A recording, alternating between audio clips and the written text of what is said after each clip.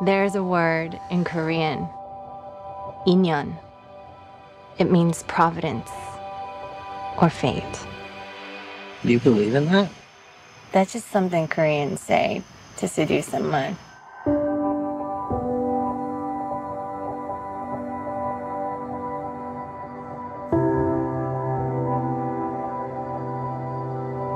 What a good story this is childhood sweethearts who reconnect 20 years later and realize they were meant for each other.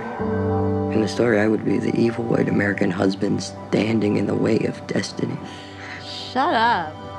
He was just this kid in my head for such a long time. I think I just missed him. Did he miss you? Hae Sung. Wow, Dota. 와 와, 진짜 와다 와. 와. Not really sure how to feel about it. Son, and the way you move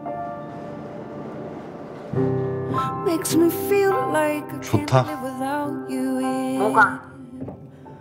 그냥 너랑 얘기하는 거? The guy flew 13 hours to be here. I'm not gonna tell you that you can't see him or something. 만약에 네가 한국을 떠나지 않았다면 내가 널 찾았을까? 우리가 사귀었을까? 헤어졌을까? 부부가 됐을까? 아이들을 가졌을까? 너는 나를 왜 찾았어? 한 번 더 보고 싶었어.